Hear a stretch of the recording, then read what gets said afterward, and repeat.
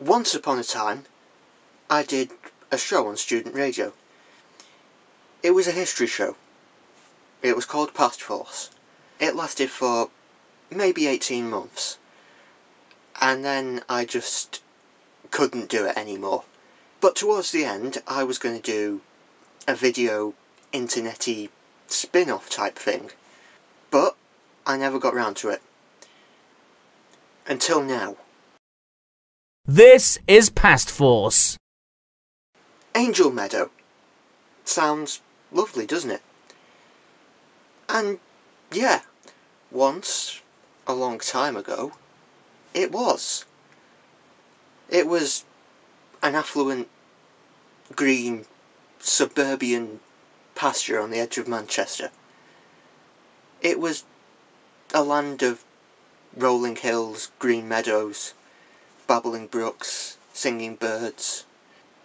It was the sort of idyllic English rural idyll, if you like. And then the Industrial Revolution happened. And then Angel Meadow became 33 acres of hell. It became the worst slum in the country. Friedrich Engels, who co-wrote the Communist Manifesto, in his book on the conditions of the working class in England, he wrote that Angel Meadow was the lowest, most filthy, vilest slum in Manchester. And he was right, because it really was terrible. In a very small space, there were living around 20 to 30,000 people. Most of them were Irish immigrants who'd come over to escape the potato famine. But what they found was a worse hell than they had in Ireland. Because, as Engels pointed out, Angel Meadow was vile. The living conditions there weren't exactly ideal to start with. Most people found themselves living in buildings that should quite rightly have been condemned. And a lot of them ended up in damp, dirty cellars without any windows.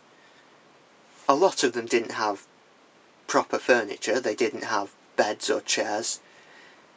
They slept on the floor in a lot of cases, which wasn't a nice place to sleep because, as I said, it was damp and dirty and a lot of the time up to 12 people were crammed into the tiny, tiny little space.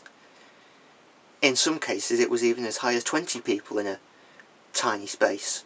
You'd think in a thriving industrial city like Manchester, employment opportunities would be brilliant. You'd think they could get a job in a factory somewhere, they could soon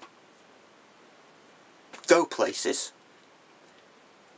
But you'd be wrong, because the chances of employment in Angel Meadow were fairly slim. Those who did get employment were often reduced to the lowest common denominator. They ended up going for whatever job they could find. A lot of them ended up as beggars, thieves, prostitutes. Really low end jobs. Jobs that weren't really jobs at all. There wasn't really such a thing as a good job. The pay was pitiful, and once you got sucked into Angel Meadow, it was very difficult to get out again. Crime was rife, and really so was disease. It was full of cholera, typhoid, if the starvation and poverty didn't get you, the disease probably would. The worst part of Angel Meadow was the Church of All Saints and St Michael. It was described by The Guardian as the ugliest church in the city. It's not there now, so we can't tell, but I'm just going to take The Guardian's word for it. It was the ugliest church in the city. The problem with the church was that it became a pauper's burial ground. It's said that up to 40,000 people were buried there. And the stench coming from this burial ground was so bad that eventually it was paved over.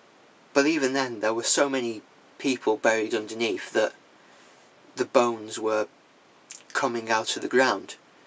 They were just there, lying on the surface, ready to be picked up and taken away by body snatchers or crows.